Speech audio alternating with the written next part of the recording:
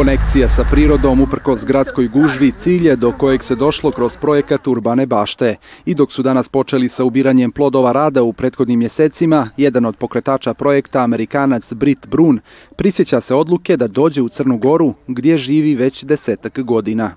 I was uh, traveling with business and uh, went through the Balkans a few times. Putovao sam poslom kroz Balkan i čuo sam za mjesto po imenu Crna Gora, pa sam došao sa suprugom. Malo smo istraživali i zaista se zaljubili u zemlju. Mnogi ljudi su nam rekli ima problem ovdje. Mi smo vidjeli rešenja pa smo se preselili. Ja volim planine, ona voli more, dakle Crna Gora. I love mountains, she loves the ocean, Montenegro.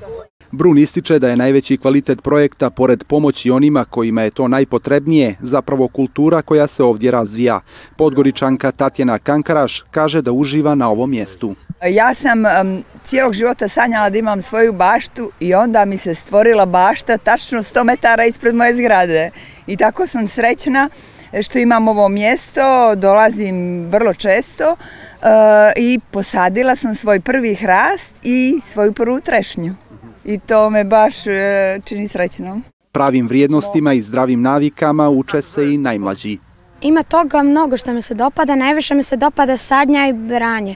I cilj urbane bašte. To jest, kad kažem cilj, mislim na kada beremo mi to sve dajemo porodicama koje su siromašne, koje nemaju dovoljno da prehrane svoju porodicu i samim tim to je dobro dijelo. Ja najviše volim da radim, da pomažem drugima ako im treba pomoć. Jer ako neko ima velike prste da provuče e, kroz repice na neku malu biljčicu koju mora da posadi e, i pošto ja imam male prste, ja samo dođem, izvučem i dam. Berba plodova dolazi par dana nakon lijepih vijesti iz Brisela gdje je Urbana bašta na takmičenju koje finansira Evropska unija bila jedan od preko 60 finalista. Među oko 1500 prijavljenih dobili su najviše glasova i nagradu od 30.000 eura. Uh, Dobili smo najviše glasova i srećni smo bili da vidimo da je Crna Gora glasila za nas i sa nama i zbog toga nam je to osiguralo 30.000 eura što će nam omogućiti da imamo stabilno finansiranje za neko vrijeme, da još malo razvijemo našu baštu i uzbuđeni smo zbog toga, ali još važnije, mnogi ljudi u Briselu su rekli da žele da dođu i vide ovo, tako da očekujem još veće interesovanje.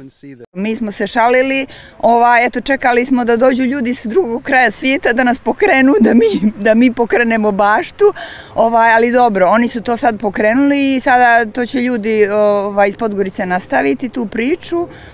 E, to je prelijepa priča, naravno, to je priča koja pripada cijelom svijetu. Svi, svi, ja mislim, u mnogim gradovima postoji ta priča. Parcelu na kojoj se nalazi nakon potpisivanja memoranduma o saradnji 2021. godine na korišćenje nevladinoj organizaciji Paradigma ustupio je glavni grad.